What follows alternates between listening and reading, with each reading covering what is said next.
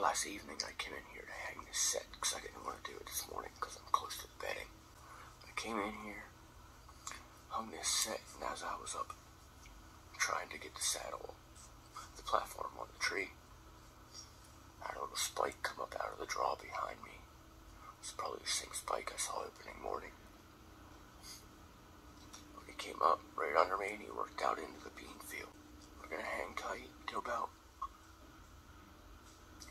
nine o'clock. Then, then my girlfriend's gotta go to work, so I'm gonna go home and hang out with the kids for a little bit, and I'll be back for the evening.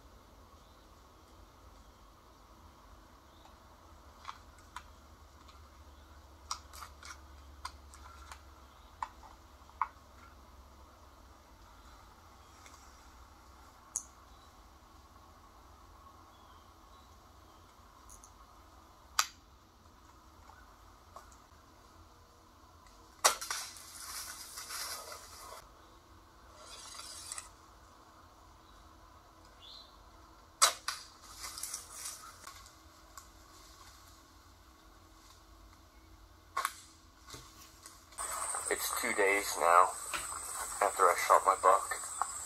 I'm heading back in. I'm not hunting today. I do got the bow just because this property has a bunch of coyotes and stuff all over the place. But I'm just walking in. I'm going to pull my set down and I kind of wanted to talk about the hunt from the other day because I didn't really do too much of that. It was pretty emotional for me. Um, my arrow, when I shot, deflected off the only branch that was between me and him.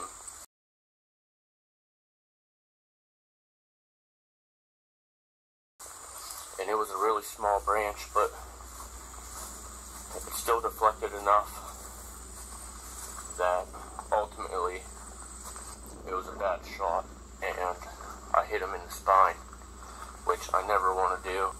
I tried to make another quick follow-up shot on him and that one also I think I just rushed it and made a bad shot so I climbed down and I had to put another one into him to finish him off.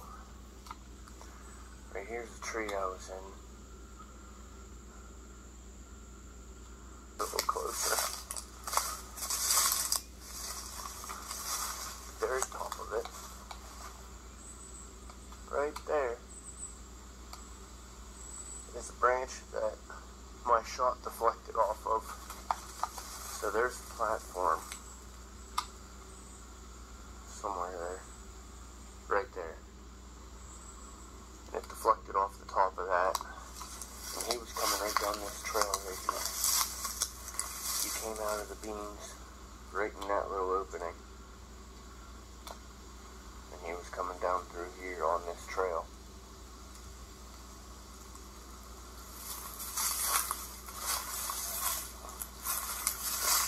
And